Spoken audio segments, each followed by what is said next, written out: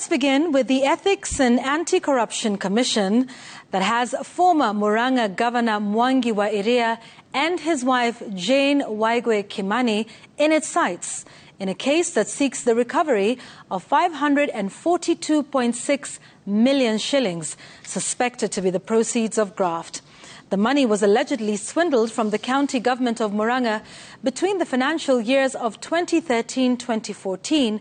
to 2016-2017.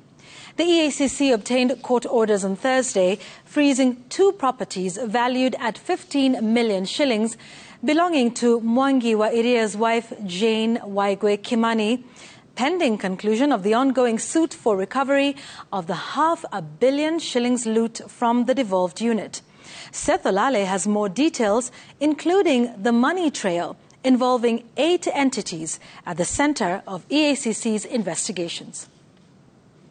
Ethics and Anti-Corruption Commission detectives are closing in on former Murang'a Governor Mwangi wa Iria and his wife Jane Waigwe Kimani over alleged theft of public funds at the Murang'a County coffers amounting to 542.6 million shillings. The anti-graft watchdog received a major boost in its pursuit to recover the alleged loot after the High Court issued orders freezing two properties purchased at over 15 million shillings belonging to Jane Waigwe Kimani, the wife of the former Murang'a governor. The two properties, including a building registered as Nairobi Block 8314309, located in Umoja Innercore, valued at 7.5 million shillings, and a block registered as LR number, Bengare parcel number 762, valued at 8.8 million shillings.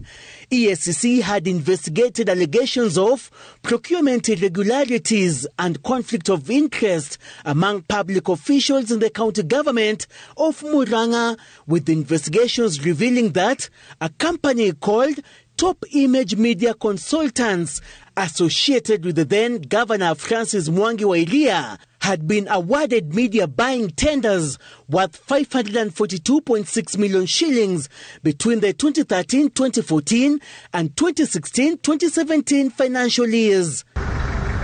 Investigations further revealing that the director of Top Image Media Consultants Limited, Jane Wanjiru Mbudhia, was a close associate of the former governor of Murang'a County, together with his wife, benefited directly from the proceeds paid to Top Image Media Consultants Limited by the county government in excess of 28 million shillings from funds that had been paid by the county government. Seth Olale, Citizen TV, Nairobi.